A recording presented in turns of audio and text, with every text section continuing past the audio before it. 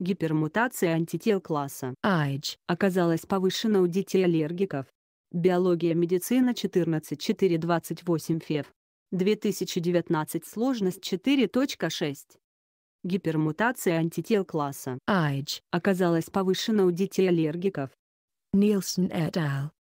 Science Translational Medicine. 2019 американские исследователи решили проверить, как разные факторы влияют на созревание антител в раннем детстве. Оказалось, что частоты соматических гипермутаций во всех классах антител увеличиваются с возрастом и, кроме того, повышенный в классах Im. и Igt. у детей, которые часто болеют инфекционными заболеваниями.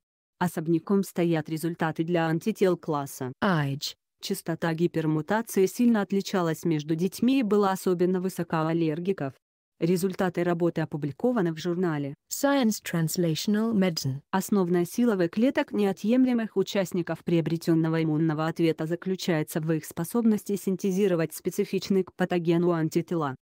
Эти антитела несут на себе участки со случайным образом сгенерированными аминокислотными последовательностями, разнообразный репертуар которых позволяет организму среагировать практически на любой патоген, в том числе и на такой, с которым иммунитет никогда не встречался. Антитела, несущие на себе один и тот же вариабельный участок, могут принадлежать к пяти разным классам. Антитела Igt. и Im. синтезируются в наивных В-клетках. После встречи В-клетки с антигеном, специфичным для вариабельного участка, она начинает активно делиться и может переключиться, а может и нет, на производство антител других классов. Для этого из ДНК, кодирующие антитела вырезаются определенные куски. Положение этих участников определяет то, антитела какого класса будут синтезированы с этой ДНК. Антитела Ig. становятся базовыми участниками вторичного иммунного ответа, Iga. защищают наши слизистые от инфекций, а суперсила Age. – борьба с паразитами. Кроме того, работу последнего связывают с появлением аллергических реакций. Смена одних классов антител другими не единственные изменения, сопровождающие активацию В-клетки. При ее делении участок ДНК, ответственный за распознавание антигена начинает мутировать примерно в миллион чаще, чем остальные регионы генома. Эта соматическая гипермутация помогает организму из одной клетки создать целую армию клонов, которые будут более-менее узнавать конкретный патоген, но при этом некоторые из них смогут это делать особенно хорошо благодаря повышенному сродству к антигену из-за новых мутаций. Известно, что вакцинация, болезни и другие факторы влияют на гипермутацию антител.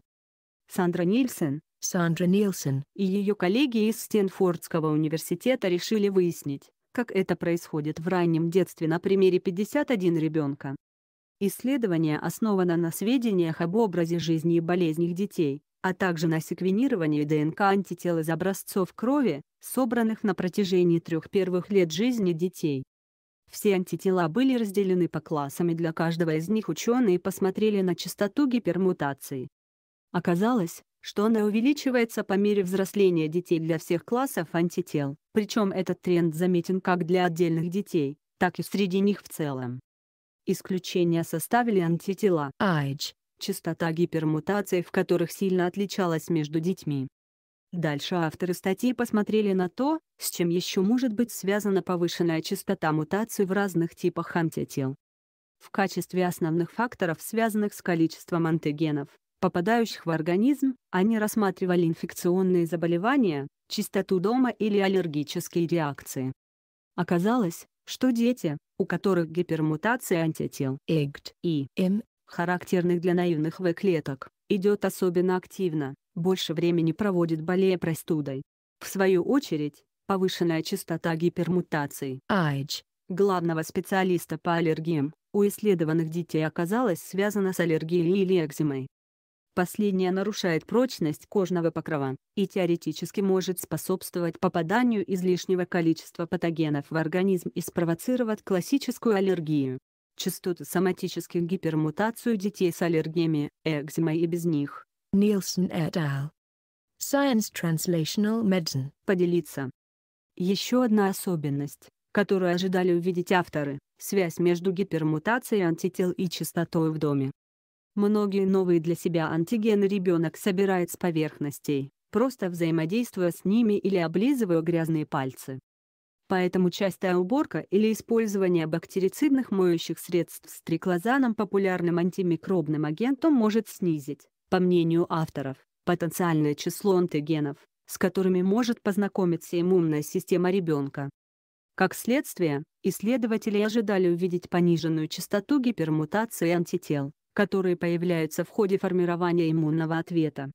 Оказалось, что частота в доме практически не влияет на количество гипермутаций, а использование триклозан содержащих моющих средств, назначавшееся семьям случайным образом, дает противоречивые результаты.